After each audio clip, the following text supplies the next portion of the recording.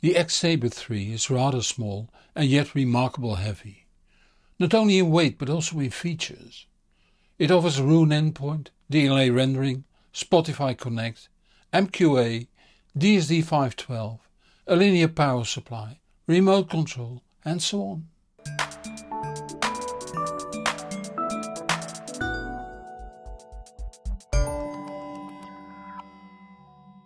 The X-Sabre 3 is to be connected to analog line inputs on your amplifier, like CD or AUX using either XLR or RCA cables.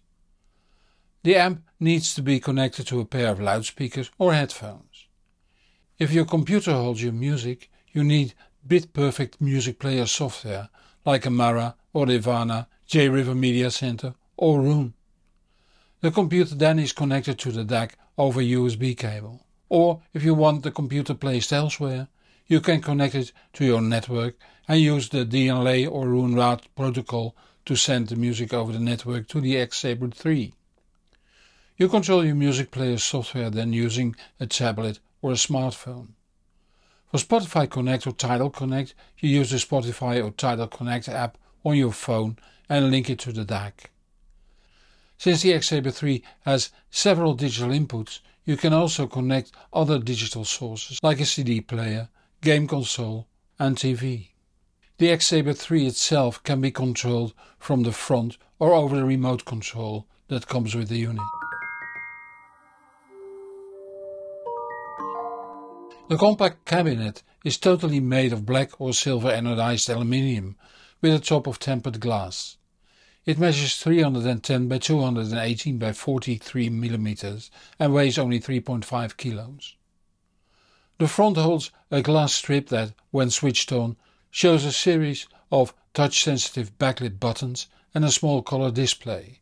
To start left we see the standby button, a button to dim the backlight of the buttons, the input select button, a mute button, the display, the filter selector, the button for sync mode and the button for the setup menu.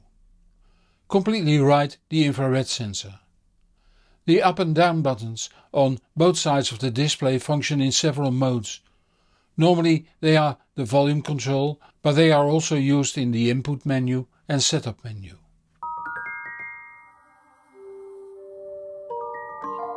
The rear is rather crowded, with on the right the IEC mains inlet with next to it the trigger input and output that facilitates automatic standby switching in conjunction with other devices.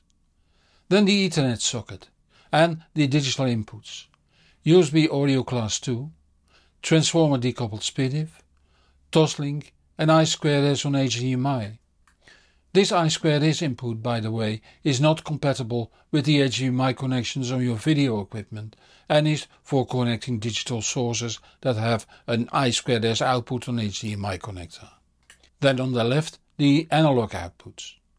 Two balanced outputs on XLR and two single-ended outputs on RCA. To open the X-Sabre 3 the bottom plate has to be removed. This cannot be done without breaking the warranty seal and thus the warranty. The top and sides of the chassis are machined from a slab of aluminium as Apple does for their laptops and for instance Ayre Acoustics for their top of the line amps. This produces an extremely rigid chassis with integrated shields between the power supply, digital electronics and analog electronics. On the left we see a 33VA Noratel UK toroidal transformer that is connected to the mains inlet over a 115 230 volts voltage selector. The secondary side is connected to an isolated part of the circuit board that holds the rectifiers and buffer capacitors. Note the separation between this part of the PCB and the part below. That part holds the digital audio electronics and, on a piggyback PCB, the Wi-Fi radios. This side of the PCB again is galvanically separated from the right part. The connection between the two is over galvanic isolators, both on this side and on the flip side. It brings a digital audio signal to this part of the PCB where the DA conversion takes place.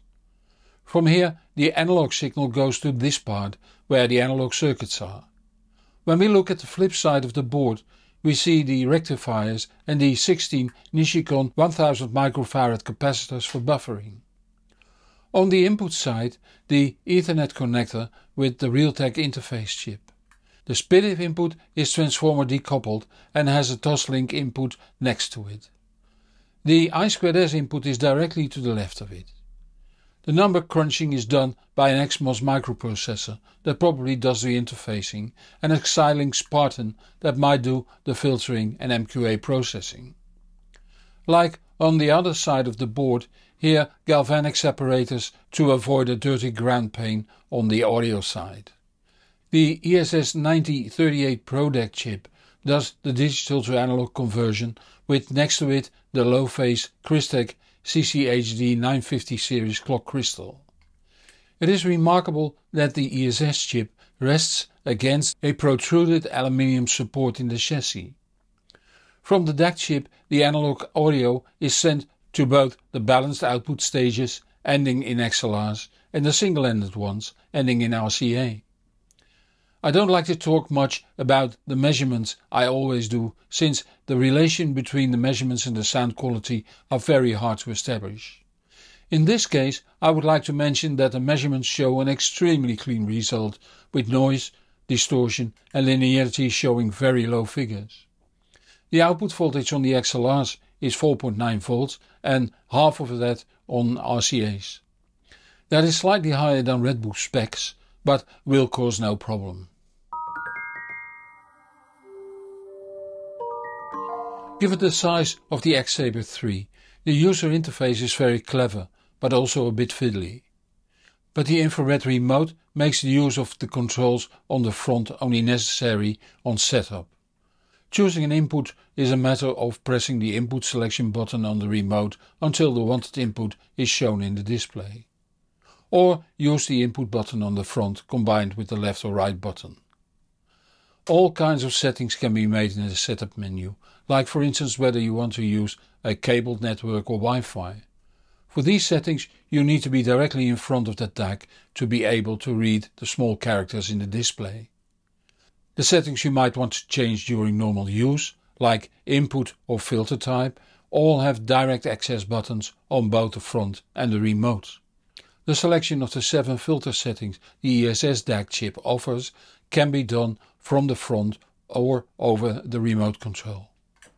The display shows numerically which of the 7 filters is selected, but which filter is behind what number is not documented. If MQA files are played, the only option is the MQA filter since that is fully compensating for the DAC's time smearing. Another interesting feature is the sync mode that lets you select between synchronous and asynchronous feeding the DAC chip. If the digital source has a very good clock you select synchronous, if not you let the internal clock take over which is effectively reclocking. This of course does not work over the network since that is asynchronously by nature. All popular audio formats are accepted up to 768 kHz PCM, MQA384 or DSD512 over the I2S and USB inputs, and up to 192 kHz PCM and DSD64 over SPDIF and Toslink. The X-Sabre 3 was connected to the Ayre Acoustic AX520 amplifier that drives the PMC FACT12 signature loudspeakers on IsoAcoustics Gaia 2 isolators over AudioQuest Robin Hood Zero loudspeaker cable. On the other side the X-Sabre 3 was connected to the internet over an SOTM SNH10G network switch over an AudioQuest Diamond Ethernet cable that was in turn connected to my router. The X-Sabre sounds very open, has very good detailed and deep lows, very high resolution mids and fairly clean highs, all within the price bracket of course. The spatial information is what to be expected in this price range with more width than depth and fair focusing. Timing is rather good while sibilance is well controlled. This is a very good sounding DAC for the money that surpasses my reference in my setup 1B the Mytek Brooklyn with Ferrum, Hypsos and Allo USBridge signature. although the Brooklyn also has analog inputs even for phono.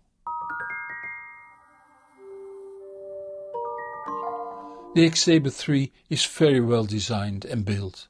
It is versatile in accepting popular physical inputs, USB audio class 2, SPDIF, Toslink and I2S, and it accepts several streaming sources over the network, AirPlay, Tidal Connect, Spotify Connect, DLNA UPnP AV and Roon Rad. I like the compactness while it does have an inbuilt linear power supply. Since there is a built-in volume control, you can use it as a digital preamp.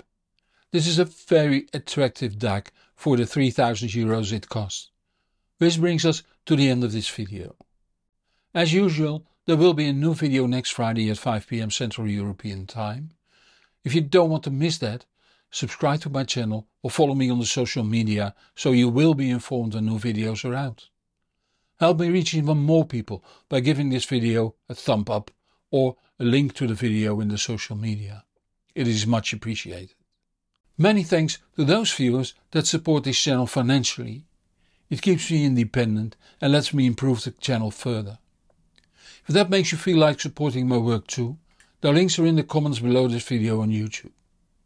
I'm Hans Beekhuyzen, thank you for watching and see you in the next show or on the HBproject.com. And whatever you do, enjoy the music.